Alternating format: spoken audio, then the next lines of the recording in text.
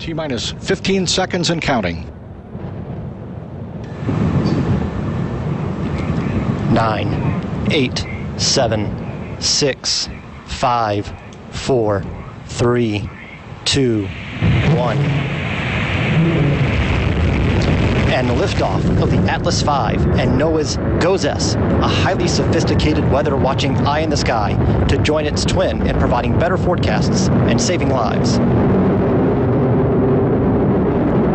Atlas has begun a pitch and yaw maneuver to steer to its planned path, an azimuth of 100.7 degrees.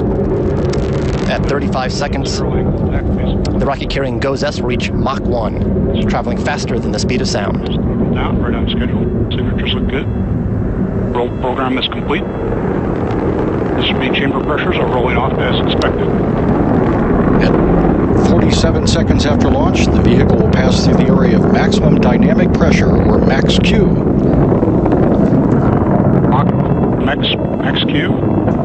This is the point when mechanical stress on the rocket reaches its peak because of the rocket's velocity and the resistance created by the Earth's atmosphere.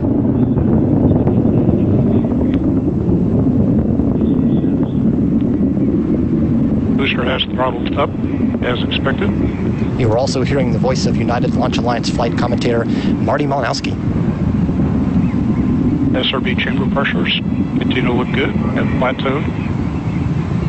At 1 minute 50 seconds into flight, the first two solid rocket boosters will be jettisoned, followed about a second and a half later Up an SRB by burnout. other boosters. And we have indication of SRB burnout. Booster engine continues to perform well.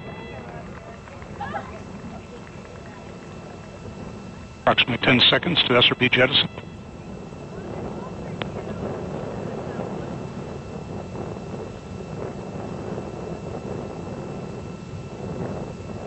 And we have indication of four solids jettisoning. Looks like a clean separation.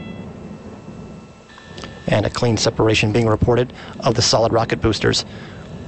Vehicle We are two minutes, four seconds steering. flight.